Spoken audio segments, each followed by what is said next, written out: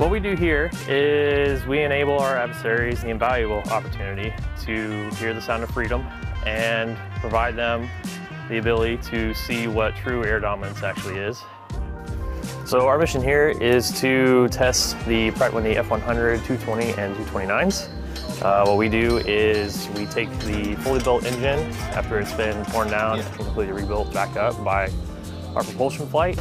Bring it out here and we basically test it, make sure it is good to go. We'll check everything from vibrations in the bearing areas and all that to pressures of oil lines and fuel lines um, and just make sure that it's ready to go and good to be in an aircraft. The T9 and the Hush House is important uh, because we allow the aircraft and uninstalled engines a place to be able to do test runs.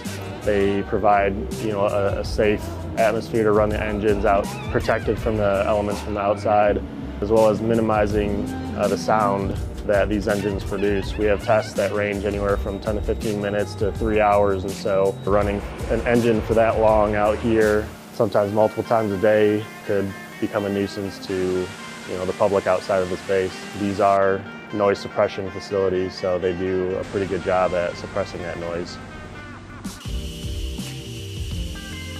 So this specific test facility is very important because A, we can reduce time drastically in the amount of time wasted, you know, setting it up and trying to get it ready to run. And then B, it gives us the ability to test all of the F-100 engines for the F-15s here, but also from you know, downrange and ascent, like any 16 units that come down, uh, other 15 units. And we've seen engines from all over the world, you know, F-100 engines from every, every base that we have, uh, we've seen come through here.